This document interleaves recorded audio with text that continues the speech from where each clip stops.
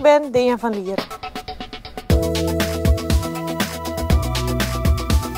Nou, mijn drijfveer voor in de paardensport is dat je uh, samen kan ontwikkelen tot iets groots. Dus je begint met uh, heel weinig en uh, in het begin heb je niet zoveel en je, je, paard snapt nog niet alles. Maar omdat je iedere dag traint en er echt samen voor gaat, ja, kun je echt successen bereiken. En word je dus steeds beter, waardoor je band, de band tussen mens en paard steeds meer wordt. En dat is wel echt mijn drive, dat je een paard ziet ontwikkelen en ziet groeien.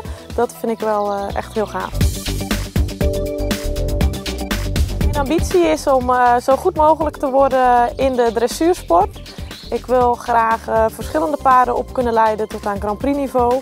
Maar ook zeker jonge paarden opleiden en uh, WK verder. Dat vind ik wel heel erg leuk om te doen. Dus mijn ambitie is ook om daarin door te groeien. En dan uiteindelijk Olympische Spelen en op een goede manier goede Grand Prix proeven neer kunnen zetten.